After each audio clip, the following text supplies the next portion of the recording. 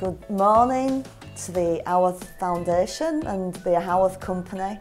Um, I, I was going to say thank you for actually asking me to come and do this, but I'm not quite sure about that, but I would really like to wish you happy 15th birthday. Uh, um, I hope you carry on for a lot longer.